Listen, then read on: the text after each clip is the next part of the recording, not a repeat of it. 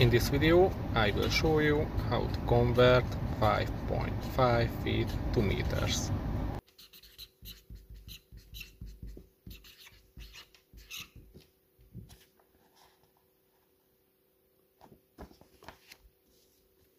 Here is the formula.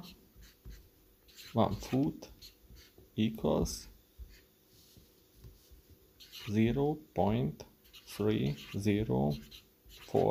0.3048 meters.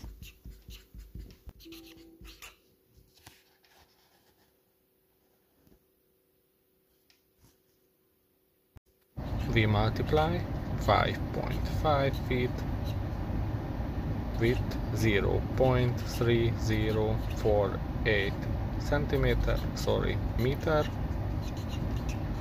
and the result is 1.6764 meters. Here is a solution again 5.5 feet equals 1.6764 meters.